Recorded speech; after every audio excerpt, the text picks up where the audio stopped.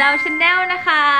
แล้ววันนี้ค่ะดาวจะมาแกะแล้วลองเลยสิ่งที่ทุกคน request กันมามากที่สุดในตอนนี้นะคะ นี่เลยค่ะ เจ้าคอนซีลเลอร์ของป้าลอร่า ตัวนี้นะคะคือ Secret Camouflage Brighten and Correct Duo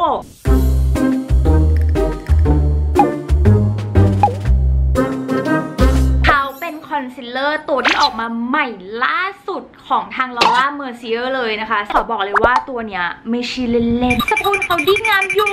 แต่ก่อนอื่นถ้าเกิดว่าใครที่อยากรู้นะคะ อย่าลืมกดไลค์กด subscribe แล้วก็กดกระดิ่ง เพื่อติดตามกันก่อนนะจ๊ะ เวลาคลิปมาใหม่เนี่ยจะได้ไม่พลาด เอาล่ะสำหรับเจ้าคอนซีลเลอร์ตัวนี้นะคะ ก็มีความว้าวไม่เบาเมื่อเราได้ยินสรรพคุณของเขา อันดับแรกเลยนะคะ เท่าที่เห็นเนี่ยคือเขาจะมีด้วยกันทั้งหมดอยู่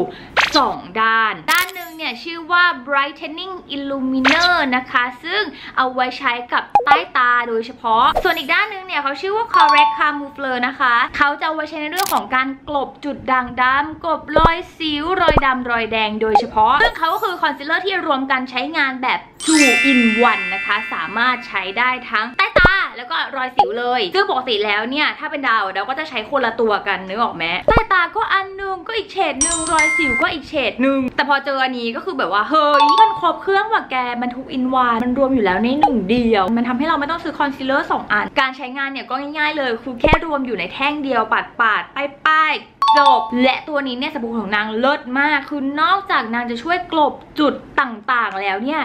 นางช่วยกลบริ้วรอยร่องเล็กๆ ด้วยทุกคน ขอบอกเลยว่าตอนที่ดาวเทสลงไปที่มือเนี่ย ตรงมือตรงนี้ของดาวมันก็จะมีริ้วๆ ใช่ไหมเออ แต่ว่าพอทาไปแล้วปุ๊บคือริ้วมันหายไปเลย คือโอแม่จ้าโอ my god มีความ amazing amazon มากๆสำหรับตัวนี้นะคะเขามีให้เลือกถึง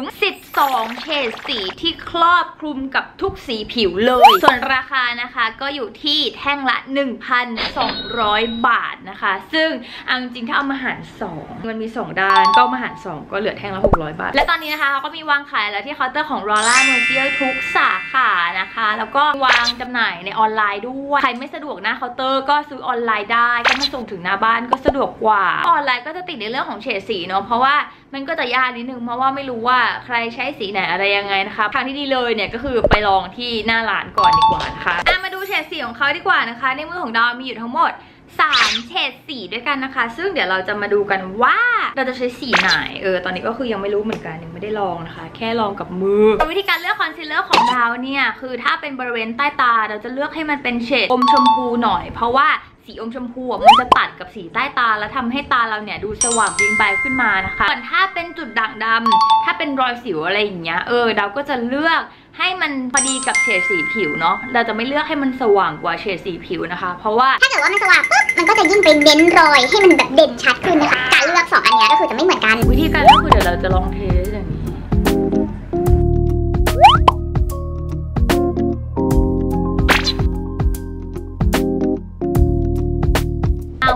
ที่ดาวลองเกลี่ยลวกๆแล้วเนี่ยนะคะดาวคิดว่าเบอร์ 3N น่าจะเหมาะกับผิวดาวที่สุดนะ เพราะว่า 2N เนี่ย มันก็จะขาวไปแล้วก็ยังกลบจุดได้ไม่ค่อยมิดเท่าไหร่นะคะ แล้วก็ 3W เนี่ยจะมีความเข้มไปกว่าสีผิวของดาวนะคะ ซึ่งมันไม่พอดี เออ เพราะฉะนั้นอันที่พอดีที่สุดก็คือ 3N นะจ๊ะสำหรับผิวดาวอะเพื่อเป็นการทดสอบนะคะ วันนี้เนี่ยดาวก็จะลงคอนซีลเลอร์ด้านหนึ่งเดี่ยวๆเลยนะคะ แล้วก็อีกด้านหนึ่งเนี่ย จะลงรองพื้นแล้วก็ลงคอนซีลเลอร์ตามลงไปนะคะ เดี๋ยวเราจะมาเทียบกันว่ามันจะให้การปกปิดได้ดีขนาดไหนอะฝั่งนี้นะคะ เดี๋ยวเราจะลงแต่คอนซีลเลอร์ลงไปนะคะซึ่งเราจะเริ่มลงที่ใต้ตาก่อนนะคะ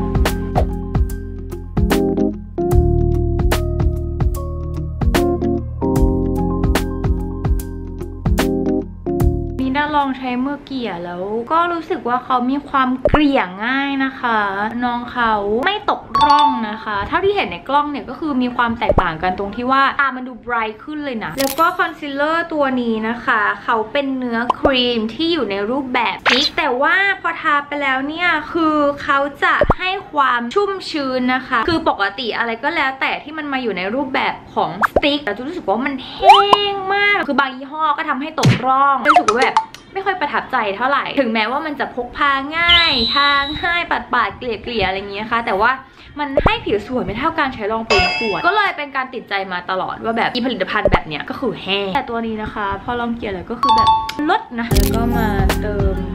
ด้านนี้บ้างนะคะ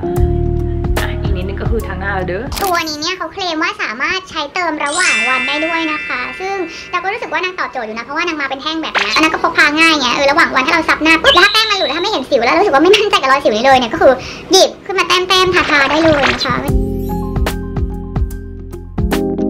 ทุกคนเคยมีคือไม่ได้ใช้ฟองน้ำเลยนะคะเราจะใช้มือเพราะเรารู้สึกว่าน้องเขาเนี่ยเหมาะกับ อะเสร็จแล้วนะคะก็จะประมาณนี้นะคะสำหรับดาวดาวรู้สึกว่า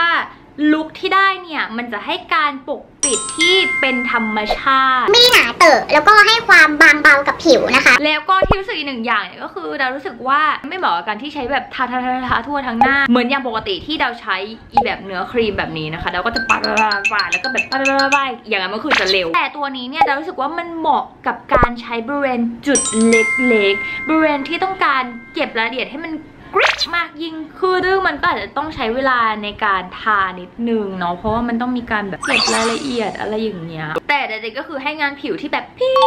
ผิวไม่หนักหน้าเลยสักกะตีดไม่อุดตันแล้วก็ให้ความติดทน กันน้ำด้วยนะจ๊ะ ซึ่งถ้าเกิดว่าใครที่กังวลในเรื่องของการอุดตันเนี่ยตัวนี้เนี่ยบอกเลยว่ามันไม่ได้หนาขนาดนั้น แต่ก็อาจจะต้องใช้ remover ที่มันช่วยล้างเมคอัพที่กันน้ำด้วยนะคะ ทุกคนจะได้มั่นใจว่าอีตัวนี้เนี่ยมันออกไปจากหน้าเราได้อย่างหมดจุดหลังจากนั้นนะคะทาแป้งฝุ่นทับนะคะ ซึ่งเราจะใช้การใช้ฟองน้ำนะคะในการทา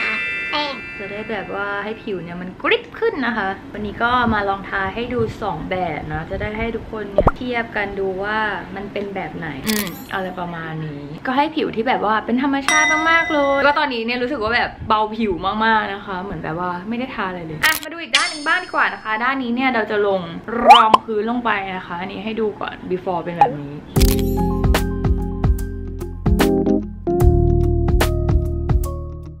อันนี้นะคะ พอทารองพื้นเนาะรอยมันก็จะหายไปประมาณนึงแล้วนะคะ มันก็จะเหลือรอยค้ำใต้ตาแล้วก็รอยจุดตรงนี้ที่มันหนักๆนะคะท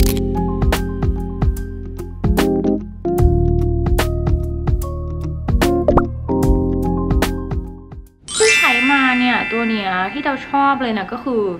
นางช่วยเติมร่องเติมริ้วอะเออ คือมันช่วยเติมเต็มอะอย่างผิวที่แบบว่าเป็นรูขุมขนอะไรอย่างงี้เนาะเออนางก็ช่วยแบบกรบให้เนียนกริบเลยอะทุกคน เหมือนใช้แอปพลิเคชันในการทำให้หน้าเนียนอะแต่ตัวเนี้ยคือแต่งแล้วหน้าเนียนจริงๆอะเออ